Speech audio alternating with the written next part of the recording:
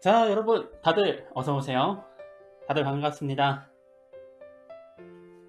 자, 여러분, 일단은 오늘 같은 경우는 제가 또 제 그림 성장 과정을 보여드리기 위해서 이미지들을 단, 잔뜩 모아왔어요. 자, 여기 보시면은 제 그림의 성장 과정 2010년부터 2011년, 12년, 13년, 14년, 15년. 그래서 아직 20년도는 여기 따로 있는데 자 이렇게 제가 그림을 그려온 순간들 그렇게 이미지를 또 따로 모아가지고 어디서 많이 좀 주워서 보셨을 수도 있는데 못 보신 분도 계시겠지만은 아 그러니까 우리 그 네오 아카데미 유튜브 폼피츠님이랑 같이 인터뷰한 곳에서도 이 이미지가 한번 쓰였었죠. 오늘은 좀 제가 그림을 그려온 이 순간들을 좀 설명을 하면서 그림에 대해서 좀 꿈을 키우시는 우리 학생분들이 조금 더 뭐라 할까 용기를 얻을 수 있도록 그렇게 좀 용기를 심어주기 위한 그런 의미가 가장 큽니다. 자 우선으로 선생님 같은 경우에는 사실 일러스트레이터를 먼저 꿈을 꾸진 않았어요. 일러스트레이터를 먼저 꿈꾸기보다는 2D 게임들 보면은 도트 그래픽이 쓰이잖아요. 그런 좀 도트 그래픽을 작업하는 어, 그런 게임 개발자가 되고 싶어 했었거든요. 자 그래가지고 선생님이 어릴 때 그림보다 먼저 했던 게 이런 도트로 어, 몬스터라던가 아니면은 막 배경이라던가 캐릭터 이런 거 만드는 거 이런 거 만드는 거 더 먼저 했어요. 그 사실 이거 할 시절에는 제가 일러스트레이터가 된다거나 그런 거를 딱히 생각을 하지 않았었는데 일단은 이런 식으로 도트 그래픽을 만들어 가지고 어, 게임 개발을 하고 싶었던 이유가 이런 식으로 내가 만들어낸 뭔가 창작물들이 게임에 들어가가지고 그게 막 움직이고 어, 또 서로 막 싸우기도 하고 또 어, 영향을 주기도 하고 뭔가 창작물이 살아있는 모습이 그 게임에서 보이는 게 굉장히 좋았어가지고. 그래서 이런 게임 개발자가 될 수 있는 것도 또 이게 그래픽적으로 바로 눈에 보이는 이런 좀 도트 그래픽을 하는 거를 어릴 때 좀 꿈으로 키웠었죠.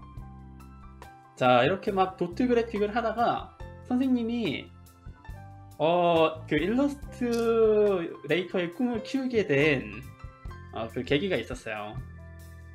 사실 저는 일러스트레이터라는 직업이 있는지도 몰랐어요. 이제 어릴 때 지금은 학생분 대부분이 또 뭐 일러스트레이터라던가 원화가 같은 어, 그런 비슷하지만 그런 좀 동료 직업군의 차이를 잘 알고 계시는 분들이 많잖아요. 근데 저 때는 또 사실 일러스트레이터라는 게 조금 더 생소한 직업이었었고 오히려 그 일러스트레이터보다는 회사에 들어와가지고 어, 게임 개발을 하는 원화가 어, 그림을 그리기 위해서는 원화가라는 쪽밖에 길이 없는 줄 알았어요. 그래서 도트 그래픽을 하다 보니까 사실 이게 그림판으로 도트 찍고 그 다음에 그림판으로 뭔가 창작을 하는 데에는 또 한계가 확실하게 좀 보이더라고요. 그때부터 또 포토샵을 공부하고 그때는 사실 또 타블렛은 아직 없었지만은 어, 최대한 마우스를 활용해 가지고 또 그림을 그렸던 시기가 있어요. 아 다들 그림 그리는 거 너무 궁금하네. 자 마우스로 그림 그렸을 때가 이때 이때 마우스로 그림을 그렸었던 때인데 이때는 제가 포토샵도 사용을 했었지만은 더 먼저 사용했었던 게 그 사이툴이라는 프로그램을 먼저 접했었어요. 포토샵보다는 아무래도 그때도 사이툴이라는 프로그램이 조금 더 기능도 간결하고 더 쉽기 때문에 근데 이 그림도 마우스로 그린 첫 그림이 아니라 사실 그림을 이전에도 되게 많이 그렸었어요 이거 그림을 그린 지 한 2년이 넘었을 때 그때 이후로 또 그림 그림이라서 선생님이 그림을 그린 기간이 굉장히 길었습니다. 이렇게 마우스로 그림을 그리다가 선생님이 용돈을 차곡차곡 세뱃돈을 모아가지고 결국 타블렛을 사게 됐죠. 결국 타블렛을 사게 됐는데 사실 이때 타블렛을 샀지만은 타블렛이 익숙하지가 않아 가지고 타블렛으로 그림을 그리기는 했지만은 마우스가 저는 더 익숙했어서 마우스를 더 많이 썼었어요. 타블렛 삭당 이거 제가 지금 봐도 엄청 이때 타블렛 사가지고 좋아했던 게 눈에 훤히 보이죠 자 이렇게 계속 그림을 그려 나가면서 선생님이 또 이때부터 모나가가 아니라 일러스트레이터라는 직업을 알게 됐었어요. 요새 우리 학생분들이나 지금 그림 그리시는 분들은 어, 제 나이 때보다 훨씬 제 나이 때보다 지금 훨씬 더 잘 그리시는 분들이 진짜 많으실 거예요. 아무래도 그림 같은 거에 대한 교육적인 측면도 지금 굉장히 좀 보편화되어 있고 유튜브 같은 데에서도 막 그림 강좌 같은 거 검색만 하면은 이제 나오는 시대가 되었잖아요. 선생님 때는 어, 그런 그림에 대한 배울 수 있는 기회가 입시 미술 말고는 이런 컴퓨터 그래픽으로는 거의 완전 독학을 했었어야 됐어요. 지금처럼 네오 아카데미라던가 다른 학원들처럼 그림을 알려주는 교육기관이나 학원이 없었기 때문에 또 그때는 대학 학과 같은 경우에도 지금은 막 게임 원화 쪽이라 게임 그래픽 쪽이라던가 그런 학과가 어, 새롭게 생겨나고 있지만은 그때는 관련 학과도 아예 없었기 때문에 그래서 거의 독학을 해왔었어요. 그러다가 선생님이 그림 스터디를 하게 됐었는데 그때부터 좀 실력이 많이 늘었던 것 같아요. 그 아까 보여드렸었던 막 그림 발전 과정에서 굉장히 큰 폭으로 변할 시기가 있었잖아요. 그 시기 때 선생님이 그림 스터디를 했었어요. 그 많은 그림을 그리는 사람들과 같이 약간은 경쟁하듯이 또 약간 어, 그림 정보도 공유를 하면서 그림 스터디를 하게 됐었는데 그때부터 그림 실력이 되게 저는 많이 늘었다고 생각을 해요. 매 스터디 때 그렸던 그림들인데 어 이거보다 더 전 그림들도 있어요. 이런 그림들 그리면서. 이때부터 그림 조금 더 완성도가 나오는 게 좀 보이시죠? 이때는 학원에 다니지는 않았어요. 왜냐면 학원이 없었기 때문에. 이때는 스스로 그림을 그리다가 우연찮게도 또 배울 수 있는 기회가 선생님이 좀 생기게 됐었어요. 당시 그때 스터디 그룹을 하면서 그 스터디 그룹에서 원장 선생님을 만났었거든요. 원장 선생님도 그때 회사에 들어가서 그림 일을 한지 어, 1년도 채 되지 않고 거의 얼마 안 됐었을 때였어요. 근데 선생님 같은 경우에 아직 한참 그림을 공부하는 입장으로서 그 원장 선생님께서 그때 아무래도 그림 프로잖아요. 어, 실제 원화가로 일을 하고 있는 프로기 때문에 되게 이것저것 많이 물어보면서 배우려고 했었어요. 네, 그러다 보니까 원장 선생님께서 과외를 열어, 열어주셨는데 그때부터 이제 그림에 대해서 좀 본격적으로 배우기 시작했어요. 제가 아무래도 혼자서 배우는 거는 한계가 있었는데 그때 원장 선생님 같은 경우에는 어, 실무 작업을 하는 원화가셨다 보니까 그 회사 업무에 관련된 얘기라든지 또 실무적으로 사용하는 그런 기능들이나 기술들이라든지 어, 그런 것들을 제가 처음 접했었는데 이 확실히 하기에도 제가 독학도 해보고 그 다음에 배우는 것도 한번 경험을 해보니까 그림을 배우게 되면은 확실히 독학 때 약간 막막했던 부분이 굉장히 많이 풀렸었더라고요.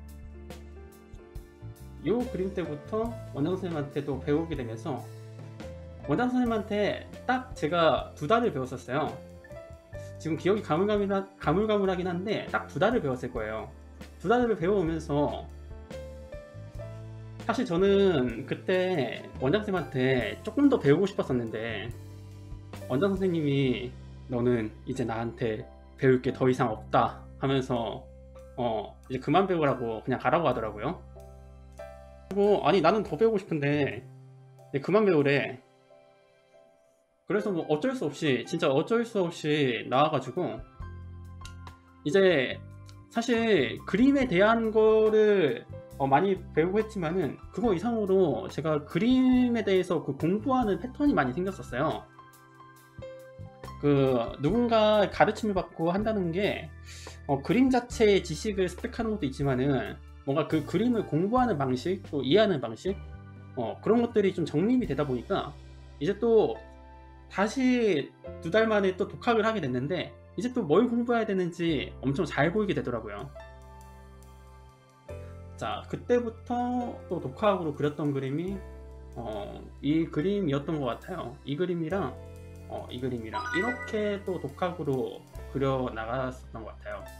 이 그림은 좀 스타일은 많이 다르긴 한데 이때부터는 선생님이 어, 그 그림을 또 배우면서 느꼈던 게 선생님이 이전에는 만화체를 했었는데 그런데 선생님 한참 그림 그릴 때 그림 공부할 때 당시에는 만화체가 지금처럼 어, 주류 장르가 아니었어요. 그래서 선생님도 이제 게임 원화가가 되기 위해서 어, 스타일을 조금씩 변형시키면서 어, 그림 연습을 하기 시작했어요. 자, 그래서 이렇게 이제 스타일을 또 완전하게 바꾸는 시기가 생겼습니다.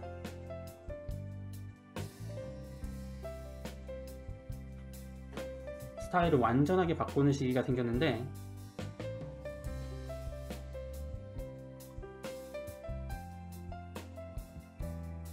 자 옛날에 만화풍 하던 때랑 스타일이 좀 많이 바뀌었죠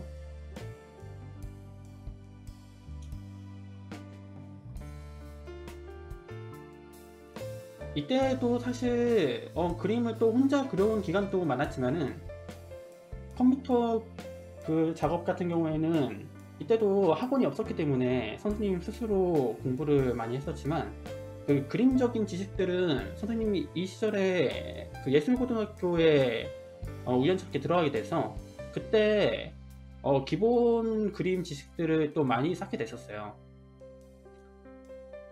그래서 학교 다닐 때도 어, 그림을 또 배울 기회가 굉장히 많게 됐죠. 학교를 다닐 때 당시쯤에 갑자기 또 스타일적인 변화가 많이 생겼어가지고 그때 원래 게임 업계에 들어가려면은 약간 반시사 스타일이 주류라고 했었잖아요. 그런데 또 다시 모바일 시장이 커지고 모바일 게임들이 많이 나오게 되면서 만화 스타일들이 또 유행을 타기 시작했었어요.